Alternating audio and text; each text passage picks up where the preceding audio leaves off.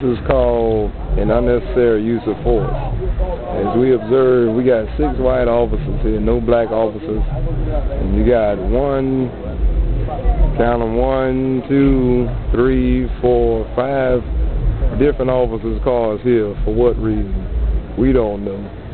But they guess they know because they tend to come here and hang out like it's the donut shop. But there's no donuts around here. So that's called harassment.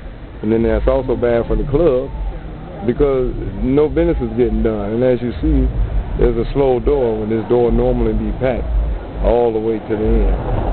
So that's the effects of what, what it does. It's bad for the economy and it's harassment.